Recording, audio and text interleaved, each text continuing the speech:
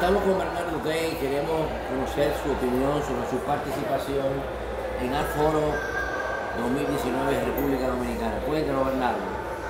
Bueno, me parece bien. Esta feria en verdad que ha venido a llenar un vacío eh, cultural en un momento en que el arte en verdad lo necesita.